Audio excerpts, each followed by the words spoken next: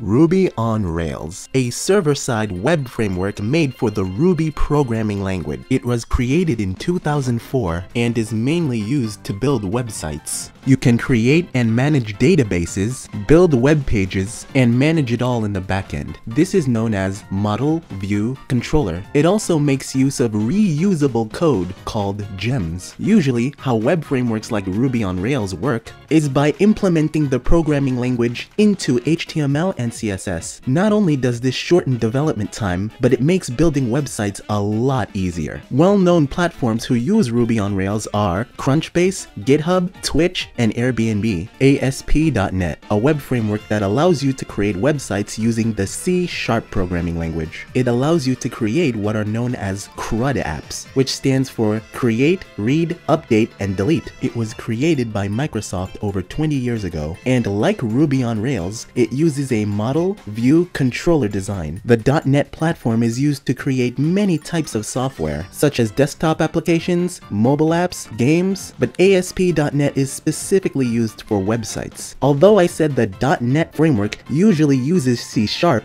it can actually use other programming languages such as Ruby, Python, C++, and Java. Vapor. Vapor is a web framework made in Swift. It's a framework mainly used by iOS developers. It allows you to build the backend of your website and APIs. This allows for the front end or the part of the website that the user interacts with to communicate with the backend, which is the part of the website that stores and manages data. Django. Django is a web framework created in the language of Python. It does a lot of the things that Ruby on Rails does, except it's in Python. It allows you to create and manage databases called models, design websites called views, and create a controller which manages everything, such as how the data is managed or how to route web pages. Flask. Flask is a web framework also made in Python. Hmm, so what's the difference between Django and Flask? Django is known as a high-level full-stack web framework, which basically means you have everything you need to create a website start to finish from scratch. Managing databases, an admin panel, authentication. Flask doesn't come with all the bells and whistles that Django does. However, it's a lot more beginner friendly and you can create small websites a lot faster. Don't be mistaken though, you can create websites that are just as big and just as robust as Django. However, with Flask, it will be a steeper learning curve. Phoenix, a web framework made in the Elixir programming language. It's mostly used to build the backend and has a model view controller design just like other frameworks. Phoenix is often used with a library called Phoenix Live View. But what is Phoenix Live View? In the past, when something on a web page would update, the entire web page would have to reload just to update one little thing on the screen. This issue was soon solved by using asynchronous JavaScript, so that only that section had to be reloaded and not the entire web page. Later solutions involved sending JSON documents back and forth between the web page and the web server. There are developers who found this a little too clunky. This is where Live View comes in. Live View works by keeping a constant connection between the web page and the web server, so that when anything updates on the web page, that change is made quickly to the server and then sent back to the web page. And none of this would require any JavaScript or sending back document. This allows web pages to run and update a lot faster. Laravel. Laravel is a web framework made in the PHP language. It comes with its own command line tool called Artisan. It also comes with a feature called Blade, which allows you to make use of reusable HTML and PHP code called Blade template. This makes the code in your actual web page more concise and easier to develop. Next.js.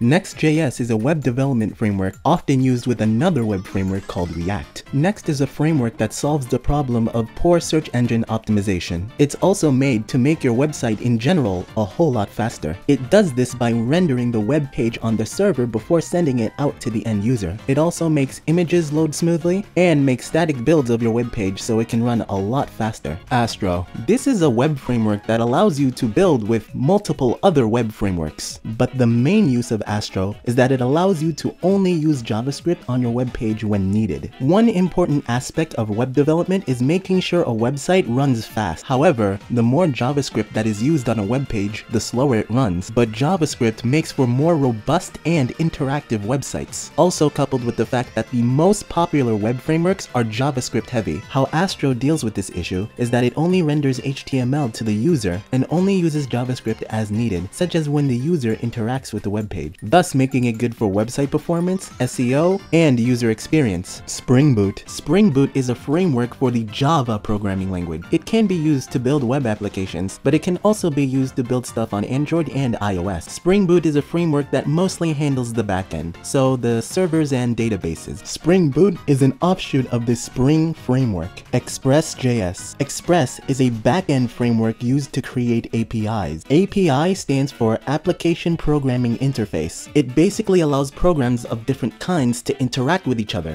To explain it more simply, imagine you're at a restaurant and you want to order food, but you don't go all the way back to the kitchen to tell the chef directly what you want to eat. Instead, you talk to a waiter that takes your order. Then, that waiter relays that information back to the chef. In this example, you are like a computer program, the kitchen is another computer program, and the waiter is the API. Have you ever logged in with your Google account into another website? Yeah, that's an API. Rocket. Rocket is a web framework for the Rust programming language. Normally, languages like Rust aren't really good for web development. However, ever since the advent of WebAssembly, developing in Rust has become possible. Ktor. Ktor is a web framework for the Kotlin programming language. It's an alternative for Java developers in case they don't like the Spring framework. Fast API, a framework for building APIs in the Python language. Nest.js, a server-side web framework that uses the TypeScript language. It's actually a framework for a JavaScript runtime environment called Node.js. It has a similar model view controller design like other frameworks. It allows you to handle the security of your website, manage databases, and anything else server-side. Gin, a web framework for the Golang programming language. Like other frameworks, it allows you to build APIs and handle the backend of websites. React, a web framework using the JavaScript language, but it can also be used with TypeScript as well. React is one of the most popular web frameworks in the world. It is a web framework mainly used for building the front end or user interface of a website. It works by making use of reusable code called React Component. It makes building websites a lot easier and quicker. The reusable code is in a format called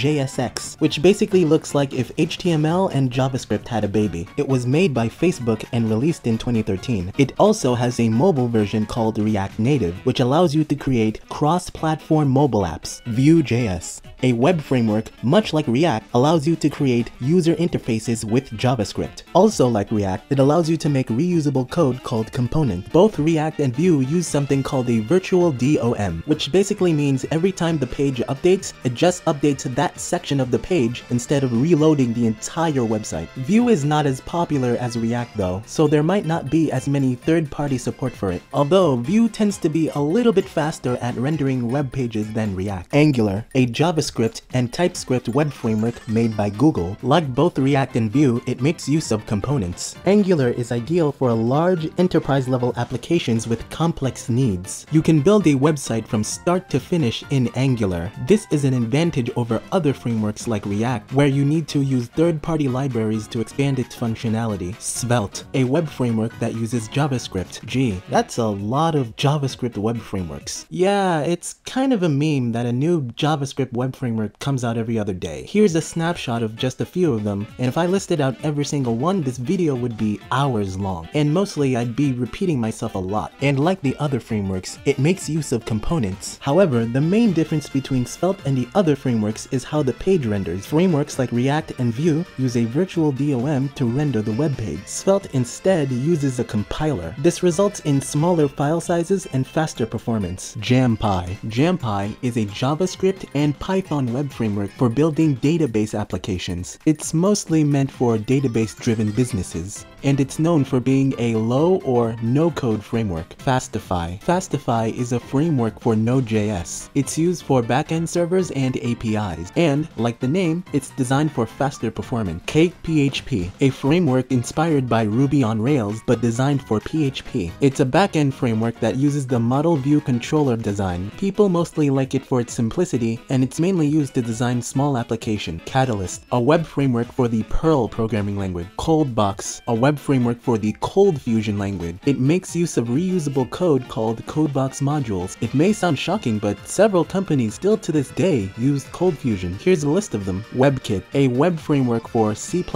It's sometimes called Witty. People like Witty because C++ tends to be fast compared to other programming languages, although it's not as beginner friendly to learn. Witty is known as a server-side framework and used to make APIs. Yesod, a web framework for the Haskell programming language. It's a web framework that makes use of functional programming programming rather than object-oriented programming. Remix, yes, I know, another JavaScript web framework. But I feel like I should mention this one because of its popularity and it's one of the newer web frameworks released in 2020. Its main selling point is that it's fast due to the fact that it renders pages server-side, and it's best used in websites that have a lot of web pages. It kind of serves as the alternative to Next.js. Remix was also recently bought out by Shopify. Grails. It's a framework for the Apache Groovy programming language. It's also known as Groovy on Rails, and it's integrated with the Java platform. Lift, a framework for the Scala programming language. It's also inspired by Ruby on Rails. Solid. Okay, last one. Okay, last JavaScript framework, I promise. As it is standard with many JavaScript frameworks, it uses reusable code called components. But just like Svelte, instead of using a virtual DOM, it uses a compiler that converts your code into plain JavaScript. It's also known as being more lightweight than other frameworks.